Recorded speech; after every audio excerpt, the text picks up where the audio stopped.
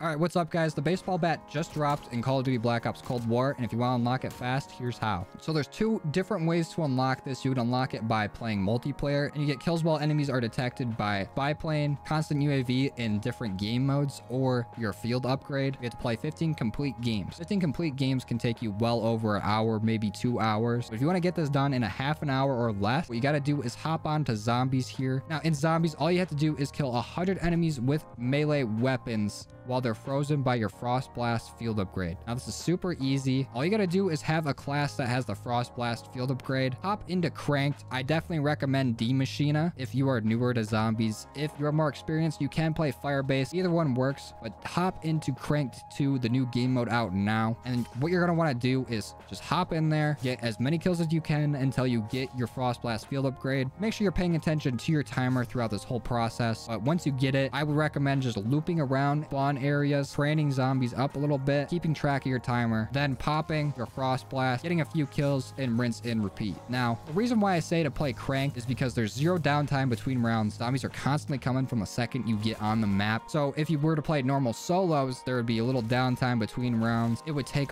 way longer. But here in crank, you can definitely get way more done in a shorter amount of time. It took me about a half hour. I played three games. It doesn't matter if you die. Uh, you just reload back into it and just keep on trucking along. But I would recommend around round seven on Die Maschine, definitely go and turn the power on if you don't know how. For those of you multiplayer people that have not played zombies very much, it's pretty simple. Uh, you're just going to go through the door with the bunny on it, up the stairs, break the rubble. To the left of the stairs, you're going to open that door head through the pond. Uh, at the end of the pond, there will be some more rubble you can blow up. You're gonna get that. You'll be able to head down through the door, and then there you come to a crossroads. There's a door to your left, door to your right. Doesn't matter which one you take. I take the one to the right. You open that up. There's another door in there. You blow up the debris blocking that, and all you gotta do is run towards the end of the Aether reactor area. Open that door. Turn the power on. You should be able to pack a punch. This will help you get through rounds faster, easier, keep you alive longer. You can also buy armor while you're there, and then you can run through, get your perks if you need to. But when I went through this, I died probably around between round 10 and 15 each time. Uh, each time I came out of it with at least 20 to 30 Frost Blast zombie kills, so it only took me three games to unlock the baseball bat. I definitely recommend while doing this, you hit the box as soon as you can, get an extra weapon, and use that weapon until you get your Frost Blast. And then once it's loaded up, train around, activate it,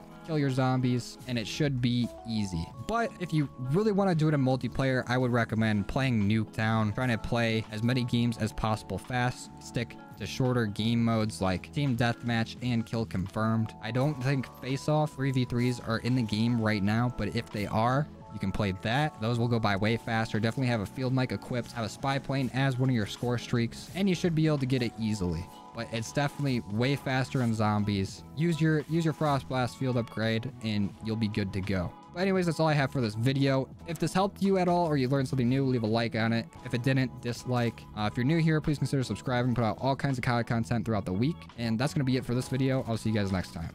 Later.